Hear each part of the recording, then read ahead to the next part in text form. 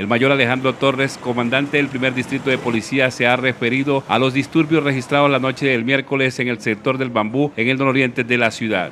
Eh, alrededor ya, eh, ya cuando se está culminando el, evento, eh, especialmente el establecimiento ya que es reconocido, donde se reúnen todos los hinchas de Atlético Nacional, se presentan una serie de disturbios, entre ellos se encuentran unos adolescentes, los cuales presuntamente estaban consumiendo también eh, bebidas eh, alcohólicas.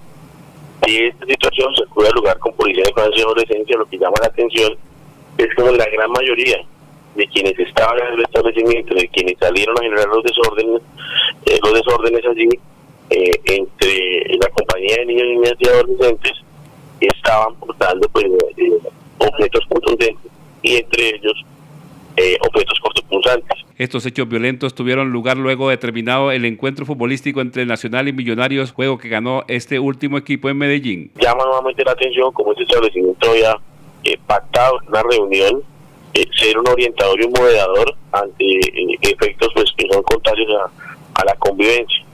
En desarrollo de esto se aplica el 1801, se da comparendo y se hace la suspensión temporal de la actividad.